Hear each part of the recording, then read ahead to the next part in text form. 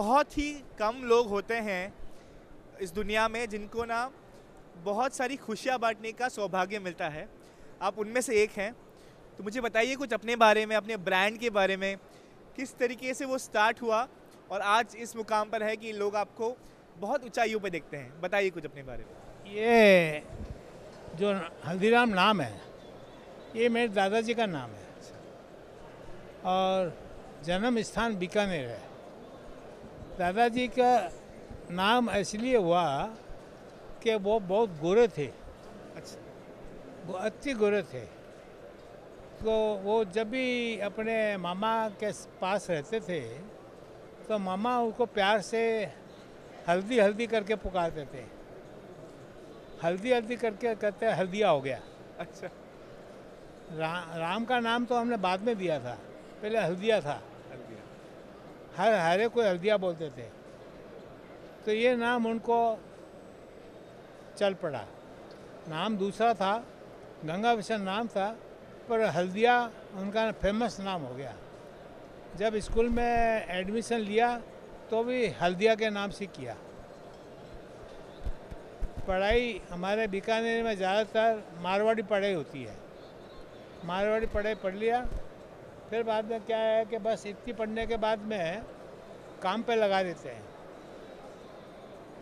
तो मेरे दादाजी आठ एक साल की उम्र में काम पे लग गए थे। क्या है कि है ही बीकानेर छोटा और गाँव खेड़े में काम पे लगा देते हैं। देखिए ना बच्चों को आठ साल नौ साल में काम पे लगा देते हैं। वैसे काम पे लगा दिया। तो इधर उधर का काम करते थे और करते थे।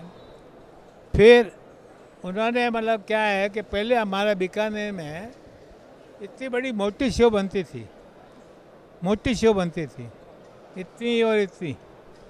वो मोटी सेव ज़्यादा चलती थी। वो क्या था, गाँव में जो बढ़िया लोग रहते थे तो कहीं खाना वाना बनवाते थे तो मोटी सेव ही ले जाते थे। और वो क्या है कि वो भी ऊँट लेके आते थे, बैलगाड़ी लेके आते थे उसमें जैसा धान भरते हैं ना, वैसा धान की तरह साफ़ करके भर लेते थे। और अपने गाँव में ले जाते थे। वहाँ गाँव में क्या है कि दो चीज़ बनती है। एक तो हलवा। वहाँ हलवा, आटे का हलवा बना दिया और वो भुजिया रख दिया। बस, इससे ज़्यादा पूड़ी वूड़ी बनी बनती थी। हलवा और भुजिया खा लिया, हो गया काम। पूड़ी के नाम से तो वो बोलते थे, पूड़ी तो आटे की पूड़ी तो घर में ही है। रोटी मेरे घर में ही है। हलवा खाऊँगा मैं तो। तो ऐसा वहाँ बिक्री होता था तो मेरे दादाजी ने जब तेरह चौदह साल की उम्र में, तेरह साल की उम्र में उन्होंने एकदम जो बारीक सेव, भुजिया है, बारीक सेव, वो निकाला था। वो निकाला तो इतना बढ़िया बना कि वहाँ के जो अच्छे बढ़िया लोग हैं शेर सौ का लोग हैं जो कलकत्ता से आते थे वो बहुत पसंद किया। ऐसा करते मैं दादाजी का नाम चल पड़ा और वही भुजिया खाते थे। वो मोटी भुजिया भूल गए। मोटी भुजिया बनती थी पर उनके नाम से वही भुजिया चलती थी। ये भुजिया का ऐसा समझो जन्मदाता हल्दीराम ही है जो बनाया है। वहाँ से फिर हमारा क्रम चलता रहा। उनका उस टाइम भी क्या है प्रीमियम लेते थे। मेरे दादाजी के पिताजी है ना वो सब लोग आते थे ना वो एक ही मांगते थे। हमको तो हल्दिया का हाथ का भुजिया चाहिए। हल्दिया के हाथ का भुजिया चाहिए। तो उनके पिताजी क्या प्रीमियम लेते थे। उनका भुजिया लेना है तो इतने पैसे लगेंगे। तो ऐसा प्रीमियम ही चलने लग गया। ऐसा क्रम चलते चलते फोर्टी वन में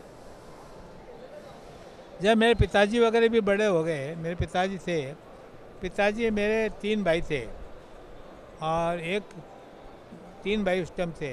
फिर बड़े हो गए तो वहाँ जब बड़े हो जाते हैं, बच्चे बड़े हो जाते हैं, उनके बच्चे बड़े हो गए तो थोड़ा घर में झगड़ा पट्टी होने लग गया था।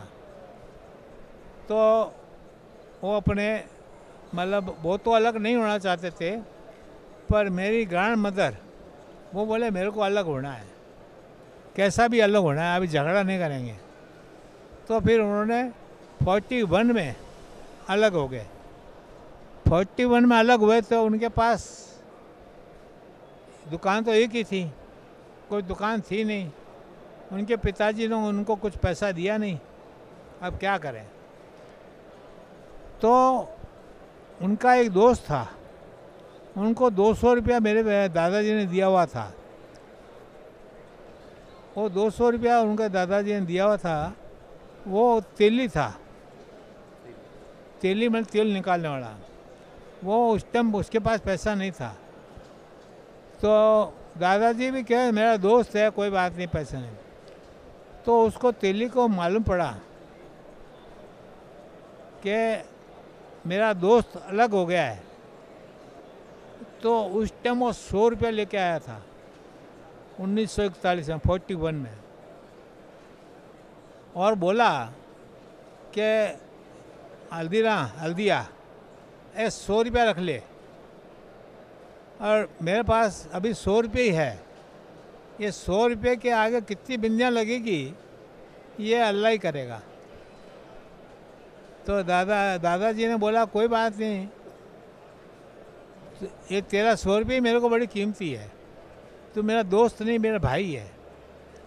वो सौ रुपया से उन्होंने थोड़ा दाल वाल बना लिए और बना लिए, बेच दिए। तो वो कारीगर थे। पाँच छः दिन तो बना लिए थे। अब क्या करना? कारीगर आदमी खाली दाल बनाने में काम होता नहीं। तो उनके एक दोस्त था बढ़िया जैन जैन। उनके पास गए थे, पैसे वाला था। तो बोले, हल्दिया क्यों आया? कि भाई एक काम है सारे से। बोलो तो मेरे को, मैं खाली हो गया। खाली हो गया तो बोले, कलकत्ता चला जा।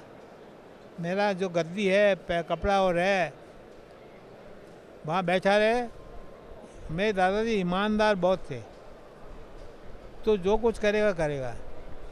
वो बोले, नहीं भाई, मैं ऐसा काम नहीं करूँगा। मेरे बच्चे नौकरी से ही हो जाए, नौकरी लायक हो जाएँगे। मैं हूँ कारीगर। तो बोले बोले, आप जैन समाज के चेयरमैन हो। मेरे को एक दुकान दिलवा दो। आपकी दुकान बन रही है, वहीं पर, सामने। वो एक दुकान दिलवा दो, मेरा अपना काम कर लूँगा। बोले, ठीक है। दोस्त खास थे ना, वो क्या कर दिया? एक दुकान दे दिया उनको। वो दुकान में उन्होंने भुजिया बनाना चालू किया। तो ऐसा समझो कि भुजिया उनकी फ़ेमस तो थी जी, और सब भुजिया नाम होता गया, नाम बढ़ता गया। नाम के साथ में भुजिया भी बनता था, पैसे भी आ गए, सब कुछ आ गया, एकदम अच्छे ढंग से रहने लगे, और लगे। फिर, अब तीन भाई, तीन बेटे बड़े भी हो गए, यही भी हो गए तो कैसा क्या करना? फिर हमने होलसेल भी काम किया थोड़ा बहुत। होलसेल काम करना भी चालू कर दिया था। जैसे आसपास जयपुर है, वगैरह है थोड़ा। वहाँ थोड़ा थोड़ा जा, थोड़ा माल थोड़ा बढ़ाने लगे ज़्यादा बढ़ाने लगे क्योंकि तीन बेटे भी थे ना तो चालू हो गया। फिर उनके दोस्त लोग बोले कलकत्ता में दोस्त लोग बहुत थे कि यहाँ भुजिया बनाना चालू कर दे। तो बोले, देखूँगा। तो एक दफ़ा उनके दोस्त की शादी में, लड़के की शादी में गया था। दोस्त की शादी में गए तो वहाँ भुजिया बनाया। भुजिया बहुत बढ़िया बन गया। तो वो फिर उनके दोस्त सब बोले, अब अब तो बना लोगे, मैं क्या बना लूँगा? उनका एक खास दोस्त ज़्यादा था। उसको बोला कि भाई अब कोई जगह वगैरह दिला दे मेरे को। तो उन्होंने एक जगह दिला दिया दुकान दिला दिया। उसमें फिर उन फिफ्टी फोर में हमने कलकत्ता में क्या काम स्टार्ट कर दिया। स्टार्ट करते ही अच्छा काम चलने लग गया। फिफ्टी फाइव में मैं भी चला गया। मैं भी उस टाइम भुजा उजा बनाने लग गया था। मैं भी पढ़ाई नहीं किया। मैं भी बहुत कम पढ़ाई किया। और मतलब यानी ट्वेल्व ईयर मैं बारह बारह साल की उम्र में काम करने लग गया था। सर, बहुत बहुत मोटिवेशनल स्टोरी है ये। और आई एम श्योर उस टाइम का माहौल कुछ अलग होगा, तकलीफ़ें कुछ अलग होगी, और चीज़ें बहुत अलग होगी, लेकिन बहुत सुन के सीखने मिलता है और हम चाहेंगे कि हम भी शायद आपसे आधा हार्डवर्क भी कर ले तो कहीं और पहुँचेंगे। तो बहुत बहुत शुक्रिया उस चीज़ के लिए। वर्ल्ड मिठाई नमकीन एंड एक्सपो जो शो हो रहा है सर अभी उसके बारे में आपके क्या बोलना है? फिर क्या है? कलकत्ता चला गया था। कलकत्ता 55 में गया था। कलकत्ते में मैं मैं मेहनत करके वहाँ नमकीन डेवलप किया था। पहले नमकीन का काम था हमारा भुजिया और नमकीन वहाँ कलकत्ते की नमकीन, गांठिया, पापड़ी और भी तरह का दाल मोच वगैरह। बड़ी मेहनत किया मैंने वहीं से। अच्छी मेहनत किया। और नमकीन तरह तरह के नमकीन भी बनाए। सभी तरह की। समोसा भी बनवाया मैंने। एक तिवाड़ी का समोसा फ़ेमस था, वैसे ही बनवाया। कचौड़ी भी बनाया ऐसा गांठिया, पापड़ी, सब तरह का काम मेहनत करता गया। फिर सिक्सटी में अचानक दादाजी ने बोला कि तुम नागपुर चले जाओ और अपनी सिस्टर को काम सेट कर दो। क्योंकि वो दादाजी ने बोला सिस्टर बार बार बोल रही है तो उनको काम बना उनको काम आता नहीं था। मेरी सिस्टर के मिस्टर को काम आता नहीं था। फिर भी उनका ऑर्डर था मेरे को। मैं आया। तो यहाँ देखा, नागपुर शहर में कुछ भी मिलता नहीं था, कुछ भी चीज़ नहीं थी, न मिठाई थी, न नमकीन थी। अभी दादाजी ने ऑर्डर दे दिया। तो मैं फिर क्या है मैं क्यों मेरे दिमाग में क्रांति थी कहीं पर भी। मैं बोला इस शहर में क्रांति पैदा करना है। तो मैंने काजू कतली चालू किया था वहाँ। अच्छा। हाँ। काजू कतली चालू किया तो वहाँ के लोग बहुत पसंद किए। और पहले काजू कतली बनती भी नहीं थी कलकत्ता में भी नहीं बनती थी और कहीं नहीं बनती थी। मैंने वहाँ चालू किया था। काजू तीन रुपया किलो साढ़े तीन रुपया किलो मिलता था। चीनी बारह ना शेर मिलती बारह ना किलो मिलती थी। प्रॉफिट बहुत था आठ रुपये किलो में बेचता था। क्या बात है क्या बात है। तो प्रॉफिट है। दो किलो में दो किलो की बना लेता तो मेरा पैसा निकल जाता था। ऐसा करते मैं कि ये चीज़ें अब नई नई बनाएँगे ना तो इनको जब मिठाई आता नहीं था तो भी मैं क्या मैं नहीं बनाएँगे। एक भगवान की मेरे को देन है। मैं एक बार कोई टेस्ट कर लेता हूँ ना, वो टेस्ट मुँह में घूमता रहता है। फिर जब तक वो, मैं अपने कारीगर को या किसी से बनवाऊँ ना, जब तक वो टेस्ट नहीं आएगा आर एन डी कर लेता हूँ टेस्ट नहीं आएगा जब तक चालू करता हूँ आर एन डी चालू रखता हूँ। ऐसा करते करते मैंने बीकानेर से भी कुछ वहाँ नागपुर में मलाई के लड्डू है कड़ाकंद है, और है अच्छी अच्छी आइटम बनाया, लोगों को बहुत पसंद है। फिर मैंने रसगुल्ला चालू किया था। रसगुल्ला बहुत बढ़िया बना। रसमलाई ऐसी बनी कि तबीयत खुश जाए। ऐसा करते करते मिठाई में मैं, अब मिठाई के साथ मेरे रेस्टोरेंट भी मैं क्यों कर लेते हैं? तो कारीगर को कहीं से लेके आया और इतनी बढ़िया डोसा वगैरह बनवाया मैंने। बढ़िया नाम हो गया। ऐसा करते, कदम करते करते, फिर बाद में मेरा मेरा मन दिल्ली में ज़्यादा था। मैं कि दिल्ली दुकान करना है अपने को। तो जितनी भी मैं परचेजिंग करने जाता था ना, वहाँ नागपुर में ड्राई फ्रूट वगैरह नहीं मिलता था। तो परचेजिंग करने जाता था, दिल्ली जाता था और दिल्ली में कुछ दलाल लोगों से मार्फत मतलब दुकानें देखता था। दुकानें बहुत देखा कुछ पैसे भी खा गए, कुछ और भी हो गया तो भी पीछे नहीं मुड़ा। देखता रहा देखता रहा। एक किस्मत ऐसा आई कि एटी वन में दुकान मिल गई फुहारे पे। मेरा भाई मनोहर बोला कि भाई साहब, दुकान मिल रही है, मैं कल नागपुर था। क्या करूँ? मैं कि ले ले, कि दस लाख रुपये मांग रहे हैं, दस लाख है नहीं अपने पास। उस टाइम हमारे पास पैसे नहीं थे। मैं कि ऊपर वाले के ऊपर भरोसा रख कर ले ले। तो उसने टोकन दे दिया। फिर वापस नागपुर आया तो मेरे को टाइम लग गई थी। फिर छः महीने के बाद गया मैं। छः महीने गया तो उससे पहले नागपुर में मेरी चार दुकानें हो गई। चार दुकानें कर लिया मैंने। तो मैं गया, अभी वहाँ बोले, अब देगा नहीं देगा, मैं जो भी है। गया तो बोले, मैं दे दूँगा आपको। फिर मैंने वो दुकान ले लिया, फिर पैसे पैसे मैं बोला, जुगाड़ करते हैं। तो बोले, मेरे पास तो है नहीं बीकानेर में दो तीन लाख रुपये हैं। मैं कहा, मैं सात लाख रुपये मैं जुगाड़ कर दूँ मैंने जुगाड़ कर दिया। क्या है कि जुगाड़ का मतलब आप समझते हैं, हमको माल उधार मिलता है और हम मतलब हमको कैश मिलता है। तो उधार माल कुछ रोक लेते हैं, कैश जमा हो जाती है। इस तरह से हमने अपना काम निकाल लिया। काम निकाल के दुकान सेट कर लिया। उसके बीच में एट्टी टू एशियाड में मतलब लगा था तो मेरे भाई के कुछ गुंडों ने मारा, मेरे भाई को, मनोहर को। तो भाई घबरा गया। बहुत अच्छा मारा था तो चोट बहुत आई। फिर कुछ ठीक ठाक हो गए तो मैं बोला, अभी दिल्ली की दुकान खोलना है। बोले, मैं नहीं खोल सकता। मेरा डर लगता है। तो मैंने फिर मैं बोला, मैं खोलता हूँ। फिर मैं नागपुर जाके मेरा सब स्टाफ लेके आया, कारीगर ये फर्नीचर बनाने वाला और बनाना, सब लेके आ गया। फिर चालू किया और फर्नीचर ऐसा बनाया मैंने कि दिल्ली में पहले कंसेप्ट था, घंटा वाला, क्या करने वाला, सामने काउंटर लगाते थे। मैंने नया कंसेप्ट लाया खड़े काउंटर का। और आज दिल्ली में वो काउंटर तो भूल गए सब पूरी दिल्ली में मिठाई का काम सुधर गया। और मिठाइयों के इतनी इतनी रेंज पैदा किया कि आश्चर्य करने लगे दिल्ली वाले इतनी मिठाइयाँ तो खाई नहीं हमने। क्या बात है क्या बात है।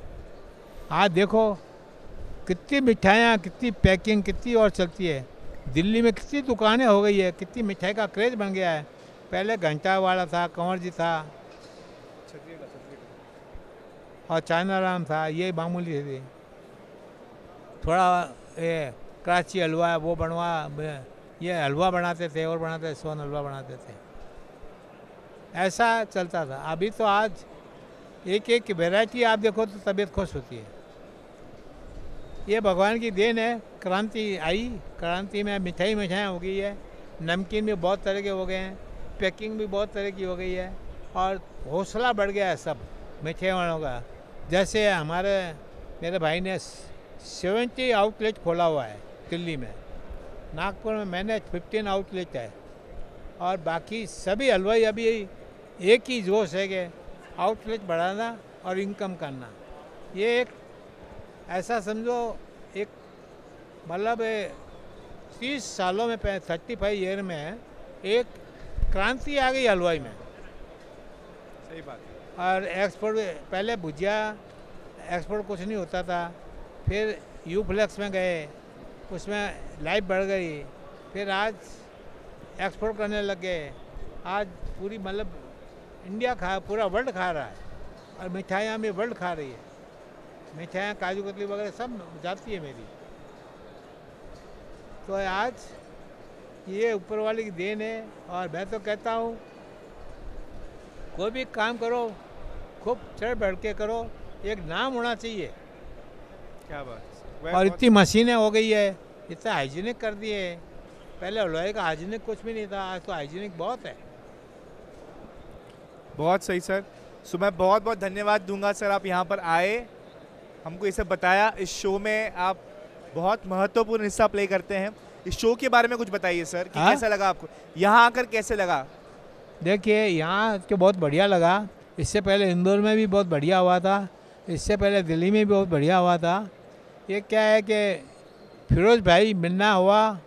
मेरे भाई ने उनको एक उत्साह दिया। हम ये चाहते थे सब हलवाई एक इकट्ठा होके आपस में बातचीत करें, एक दूसरे पहचान निकालें तो क्या है कि ये एक तरह का अपना भाईचारा बढ़ गया। अब यहाँ इकट्ठे होते हैं, सब मिलते हैं, खुश होते हैं, हम भी खुश होते हैं, सभी है। तो हम तो यहाँ आके बहुत खुश होते हैं। तो आगे के भी बल्क प्रोग्राम होगा तो उसमें आएँगे और खुश होंगे, क्योंकि एक परिवार मिल रहे हैं, ऐसा समझ के आते हैं। एक परिवार से मिलते हैं तो काम सब जगह अपने अपने जगह पर करते हैं, मिलते हैं तो एक जगह होता है। ये हमारा एक एसोसिएशन मिला हुआ है। लोग शादी ब्याह में इकट्ठा होते हैं पर हम यहाँ इकट्ठा होते हैं। वैसे ही इकट्ठा होना एक सौभाग्य की बात है और अच्छा लगता है। सर बहुत बहुत धन्यवाद। और ऐसे ही खुशहाल रहें और सालों साल तक हमको सिखाते रहें। Thank you so much thank you